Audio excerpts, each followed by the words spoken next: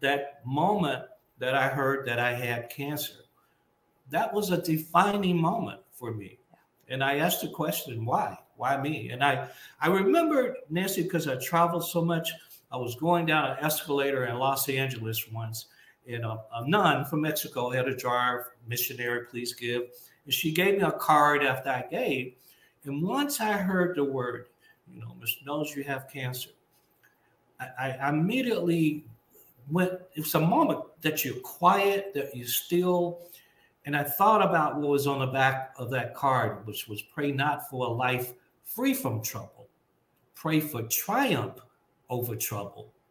For what you and I call adversity, God, the universe, whatever name you use, calls opportunity. Right. So I view me being diagnosed with cancer and becoming a cancer survivor as an opportunity to share on my platform to others the importance of health and wellness, the importance of early, early detection.